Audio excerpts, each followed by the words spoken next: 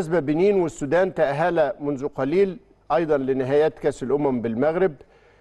المهندس عدلي أشار إلى طاهر وروح طاهر وحالة التحدي الكبيرة اللي كانت عند طاهر محمد طاهر. بالمناسبة أشاد بيه اتنين من مدربي المنتخب السابقين الكابتن حسام البدري والكابتن شوقي غريب.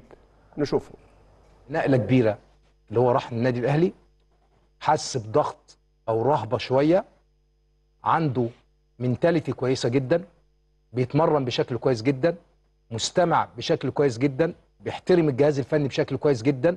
ودليل كده إن إحنا خلال الفترة اللي طاهر ما كانش بيلعب فيها ما سمعناش فيه أي مشكلة. لا. بل في أوقات كنا بنسمع إن هو ممكن مرة بكى مرة وده دليل إن جواه إصرار كبير جدا.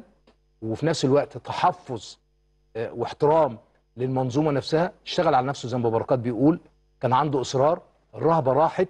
المدرب شايف كل الكلام ده أصر على إن هو يديله الفرصة أما جات له الفرصه وتحرر من كل كان. الأشياء دي ابتدى التحرر كان. ده يظهر مستواه بشكل و- و- كويس. وربما ما أعرفش توافقني أو لأ إنه برضه هو استشعر إنه آه، كولر حاطط كهرباء بعيد شوية وبالتالي ما فيش راس حربة غير وسام فربما يكون هو التاني ما أعرفش هل ممكن تكون دي برضه في دماغه فشد لا هو قوي فعلا هو فعلا زي ما أنت بتقول يا كابتن والكابتن حسام والكابتن بركات آه، اتكلموا آه. على طاهر طاهر طاهر لعيب مقاتل أصلا نعم. يعني طاهر طريقة لعبه آه انت وأداؤه دربته آه لعيب طبعا. مقاتل فعلا يعني لعيب آه. مقاتل ما هوش لعيب إيه مش من اللعيبة اللي بتلعب. بالشوكه والسكينه أو شراسة. أو لعيبة مثلا المهرية القوي لا ده هو عنده قوة أداء وشرس وبعدين طاهر برضه خد تجربة احترافية وهو صغير ورجع تاني آه، مصر بس بسيطة بسيطة ورجع تاني. طاهر عنده المكونات إن لعيب كبير لما يجي بقى يحس إن المدير الفني في فرنسا. آه في فرنسا. لما يجي يحس بقى يا كابتن مدحت